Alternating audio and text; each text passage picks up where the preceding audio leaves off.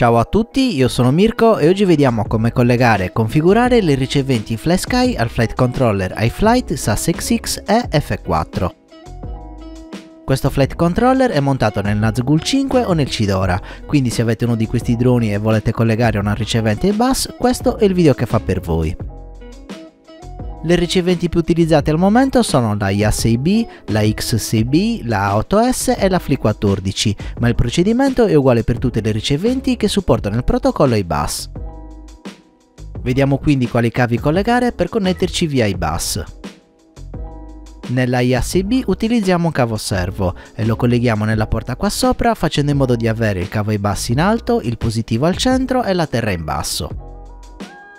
Per quanto riguarda la X6B colleghiamo il connettore JST in questo ingresso, anche qui abbiamo i bassi in alto, positivo al centro e terra in basso. Nella A8S rimuoviamo il cavo PPM, teniamo solo la terra, il positivo e il cavo ai bus. Nella FLI14 abbiamo solo questo connettore, quindi non possiamo sbagliare. Come sempre il cavo ai bus è quello giallo. Spostiamoci ora nello schema del Flight Controller. Per quanto riguarda terra e alimentazione possiamo usare questo pad G e questo pad 5V. Per quanto riguarda il cavo bus possiamo collegarlo in un qualsiasi RX della scheda, nello specifico possiamo scegliere tra R1, R6, R3 e R2. La cosa importante è attivare la porta UART corrispondente su Betaflight, quindi se collego i bus nel pad R1 attivo la UART 1, se lo collego nel pad R2 attivo la UART 2 e così via. Per mantenere tutti i cavi vicini io uso il pad R3. Dopo aver prestagnato saldo i fili.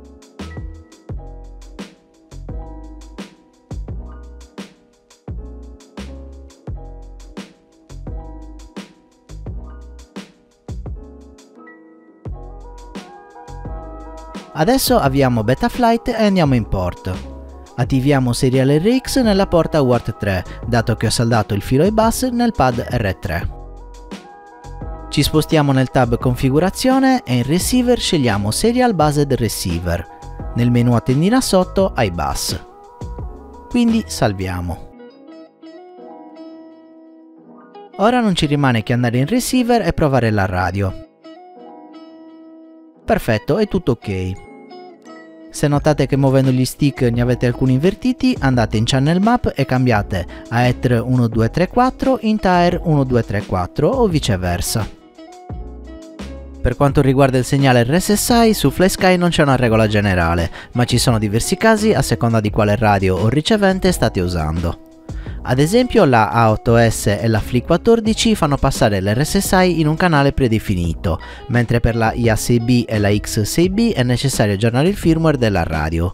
In descrizione vi lascio la mia playlist su FlySky dove analizzo tutti i casi che possiamo incontrare. Perfetto, abbiamo finito, la ricevente è collegata e Betaflight riconosce il radiocomando, non c'è altro da fare. Questo era il mio tutorial su come collegare e configurare le riceventi FlySky al Flight Controller iFlight. Se vi è piaciuto il video quindi lasciatemi un mi piace, iscrivetevi al canale e attivate la campanella per non perdere i prossimi video. Se volete supportarmi vi ricordo di acquistare sempre attraverso i miei link, trovate l'elenco in descrizione.